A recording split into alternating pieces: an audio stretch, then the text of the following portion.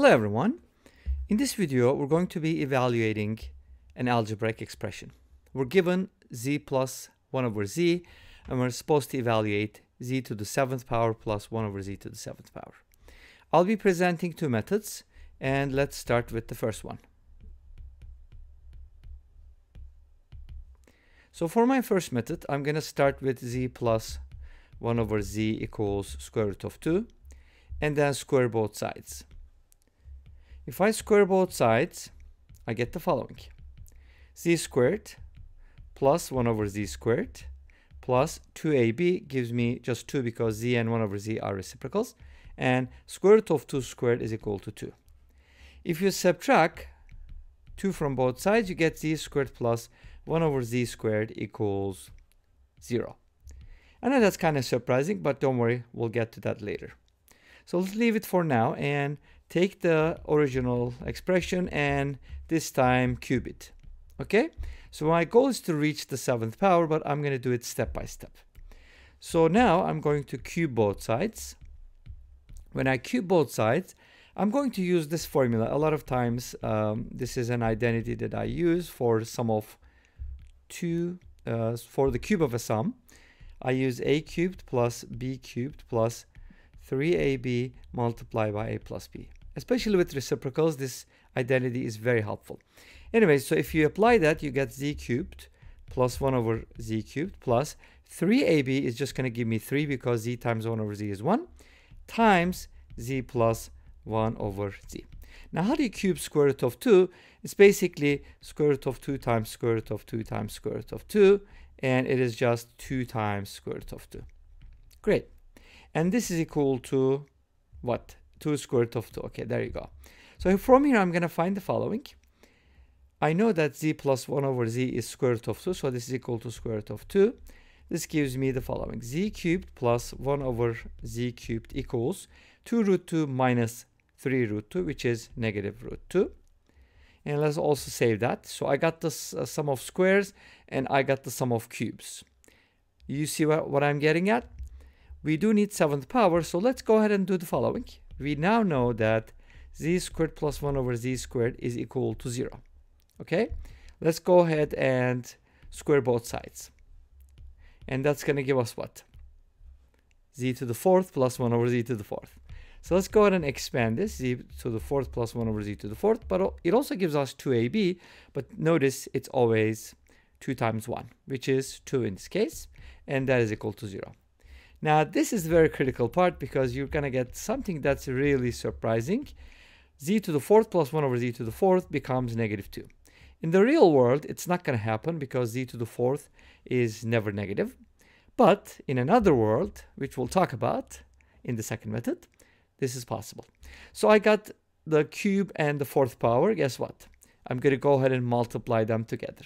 You could also do it differently, like, you know, you could take z cubed and square both sides and then multiply by z, whatever. But I'm just going to do it this way. So here's what we're going to do. We'll take z to the fourth plus 1 over z to the fourth and multiply it by z cubed plus 1 over z cubed. And let's see what happens. z to the fourth plus 1 over z to the fourth is negative 2, and that is negative square root of 2. So when you multiply those two things, the product is going to be 2 root 2. Make sense? And let's go ahead and distribute now z to the fourth times z to the third is going to be z to the seventh. z to the fourth times 1 over z cubed. z cubed is going to cancel out, and you're going to end up with z.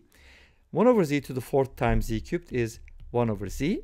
And finally, 1 over z to the fourth times 1 over z cubed is 1 over z to the seventh power. So we're just using the distributive property and then combine like terms or organize it. So we have now z to the seventh plus, and I apologize, the way I write z's kind of looks like sevens, but anyways, hopefully you can distinguish. And now z to the seventh plus 1 over z to the seventh plus z plus 1 over z, does that look familiar? Equals 2 root 2. Now we're trying to evaluate z to the seventh plus 1 over z to the seventh because that's the question, right? So this is what I'm trying to evaluate. But I do know that this is equal to square root of 2, so just by subtracting, I'll get the answer. From here, z to the 7th plus 1 over z to the 7th is equal to root 2 because if you subtract root 2 from 2 root 2 that's what you get and that will be the answer Okay, let's go ahead and take a look at the second method now. And our second method is actually going to explain why we're getting something weird like sum of squares being zero uh, when, you know, it's impossible, right? In the real world. So here's what we're going to do with the second method. We're going to write z as r times cosine alpha plus i sine alpha. In other words, z is going to be a complex number. Now, what is r? r is the modulus. We're going to find out later on, but if you invert this or find the reciprocal, uh, you have to invert the r, and the angle is just going to be uh, the opposite cosine of negative alpha or alpha because it's the same minus i sine alpha. So sine is an odd function, so sine of negative alpha is negative sine alpha, but cosine of negative alpha is the same as cosine alpha because cosine is an even function. All right? So here's what we get from the reciprocal. And guess what? We're going to add them up because we are we know z plus 1 over z. So let's go ahead and add these up. When we add these up, the terms with cosine alpha, obviously we can collect them and write this as r plus 1 over r times cosine alpha. And the terms with sine alpha, we can go ahead and write like this, r minus 1 over r and of course, we have an i, don't forget that, and multiply by sine alpha. Okay? All right, great. So these are all multiplied. And guess this is what is what this is equal to. It's equal to square root of 2 because z plus 1 over z is given as square root of 2. Now, what is that supposed to mean? You have a real number on the right-hand side, and on the left-hand side, you have a non-real number, which is impossible, right? You can't have an i in this expression unless the coefficient of i is 0.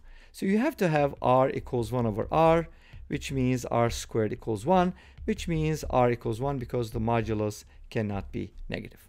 This is very important because this means z can be written as cosine alpha plus i sine alpha without the r, or r equals 1.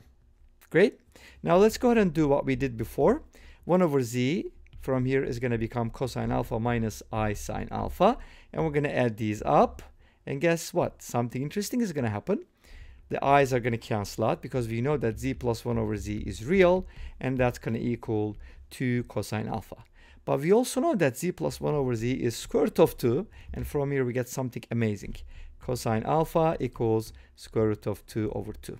And you should be familiar with the principle or the smallest angle smallest positive angle that satisfies this? Yes. If you said pi over 4, you got it right.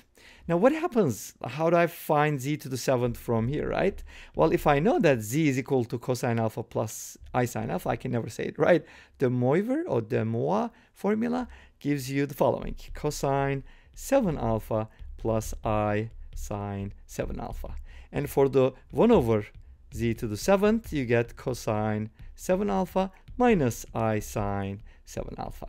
And this is what we're trying to find. So let's go ahead and add these up. I sine cancels out and we end up with z to the 7th plus 1 over z to the 7th equals 2 cosine 7 alpha. But we know that alpha is pi over 4. So this is 2 cosine 7 pi over 4. And what is 7 pi over 4? Or what is the cosine of 7 pi over 4? Same as cosine pi over 4 because it's negative pi over 4. So this is the same as 2 times I don't think I need to write that. It is equal to 2 times root 2 over 2 and the answer is square root of 2 as before. And this brings us to the end of this video. Thank you for watching. I hope you enjoyed it. Please let me know. Don't forget to comment, like, and subscribe. I'll see you tomorrow with another video. Until then, be safe, take care, and bye-bye.